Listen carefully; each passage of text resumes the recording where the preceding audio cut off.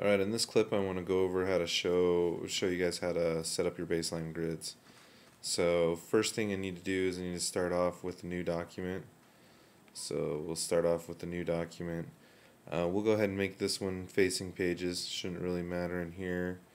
Uh, I want to change more options. I want to always use our standard bleed size, 0.2, 0.125 IN for inches since I haven't got my measurements change there. And that should update all of those. So we got a couple pages in here. Let's use let's make some new pages here. Got some new pages with the pages palette. And want to take a look at two pages together. So the purpose of the baseline grid is to align your documents so you can see what's happening in here. So first thing I want to do is I mean, want to make a text box using the text tool, type tool. Got a text box here and we want to change and make two columns in this. So we're going to go to object text frame options and that will allow us to change the number of columns to two. We can also update the gutter measurements in here get those set the way we want. Now I like to work in inches so um, won't really matter. You should be able to use the grids either way but I'm going to change my measurements over to inches. I prefer to work in inches here.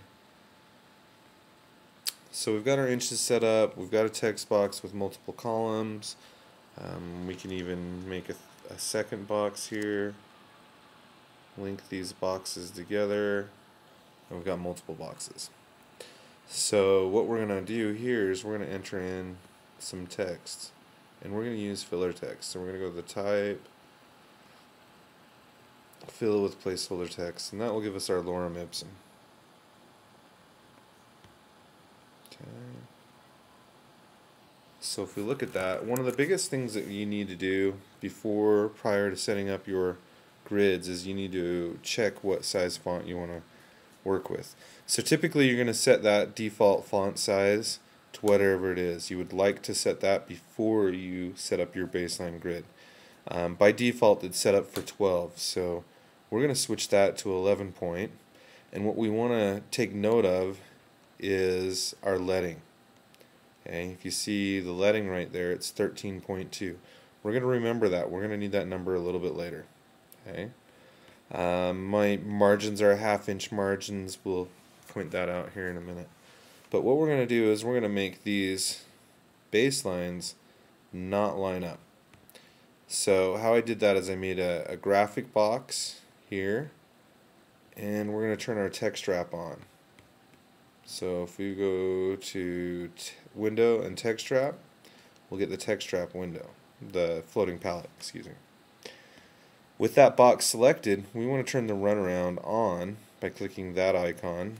And what that enables is the text to run around that box. It pushes the text away from it. Okay, before the text just flowed freely, if we put a photo in there, it's going to be covered up. But we want to turn the text wrap on, and we can actually adjust that if we needed to. But you notice the baselines, the bottom of these text lines are not matching up. Okay, so that's something you don't want to happen in your want to see in your layouts. Uh, that will get you kicked out of your interview or basically out of the running for your job. So that's something that editors, art directors, people that are hiring and know what to look for can see right off the bat. So we want to fix that so that all the baselines line up.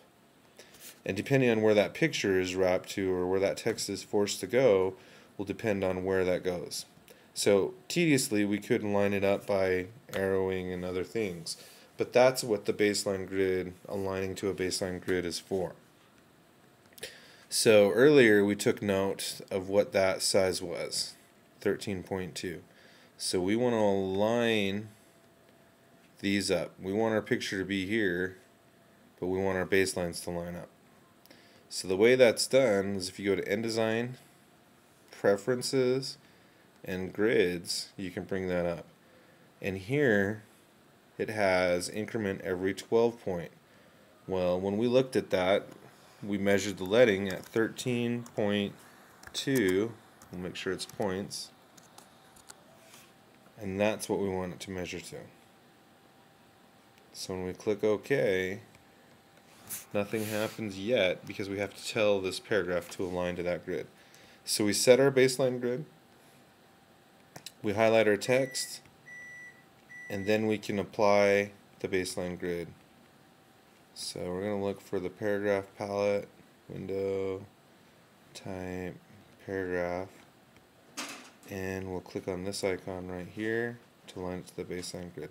And everything lines up where it should be set. That's how you set up your baseline grid. Um, and you'd want to do that before, like I said, you'd want to find out what leading you're going to use so you can set up your baseline grid.